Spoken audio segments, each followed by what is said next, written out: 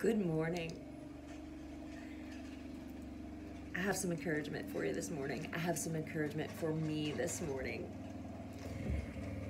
Just a little tidbit to stir your curiosity, to stir your faith and tenacity, and um, to stir your hunger to know God more. This God who chose to become human like one of us. Human, born way lowlier than we were born. Most of us have the privilege of being born in a hospital or the privilege of parents who can choose to birth us at home in a birthing pool with a midwife.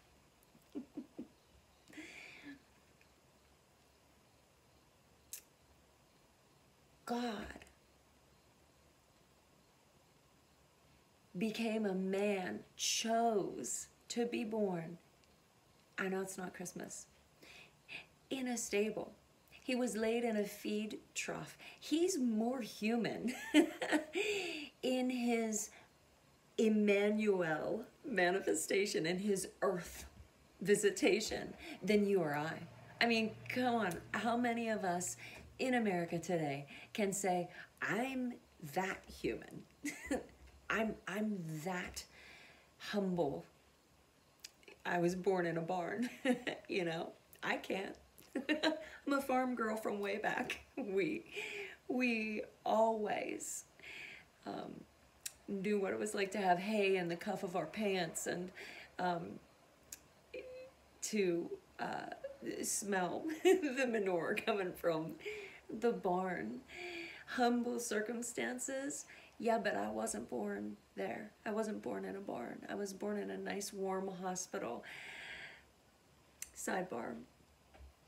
We celebrated this past weekend welcoming my first grandchild.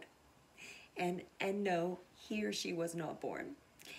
Um, he or she is still safely in mama's tummy being knit together by God. And I'm overwhelmed by the God humanity, by the eternity of us all. I'm overwhelmed by the beauty of creation, the beauty of a, a child born to us. Jesus was born to us, for us. He didn't come to be served, but he came to serve.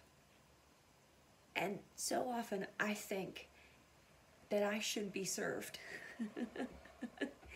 Somebody should do something for me. but God,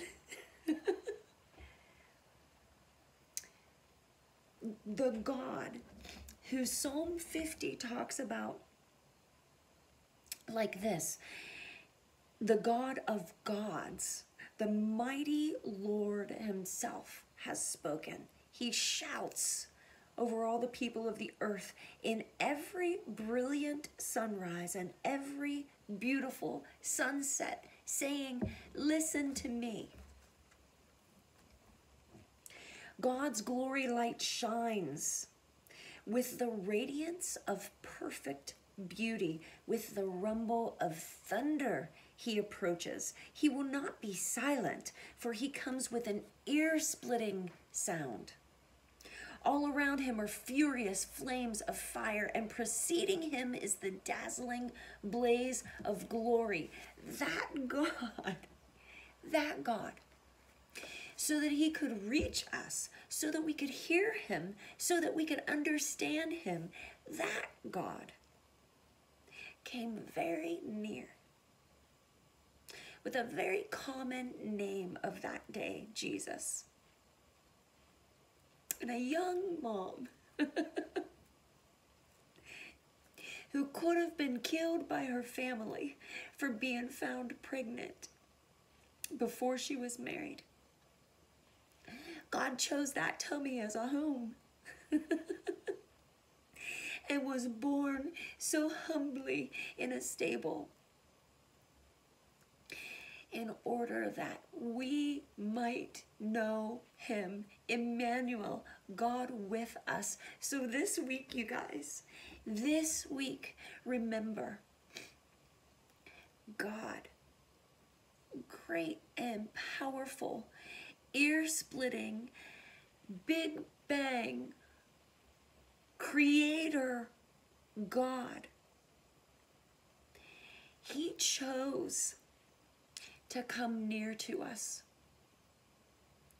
so that we could know him and that we could come near to him. He loves you more than majesty, royalty, untouchability. He loves you and me so much that he came from such glory and grandeur, such godness. He is very God. And he came to live in an earth house. And each one of us hold that eternity in our spirits because we are His.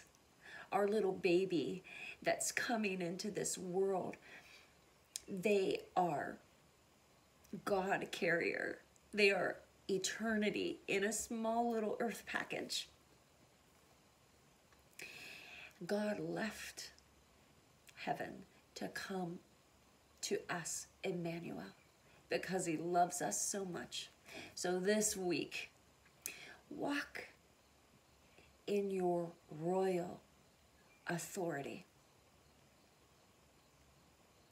You are a child of God, and you have been forever reconnected with Him because Jesus came and shed His blood. And He didn't stop there, He rose again to give you all things. Live today, live this week out of your royal heritage, your, your royal ancestry. You have the supernatural in you because Jesus is your Lord. Walk in that way today. Do not forget who you are. You are God's child. And it is going to be a great week.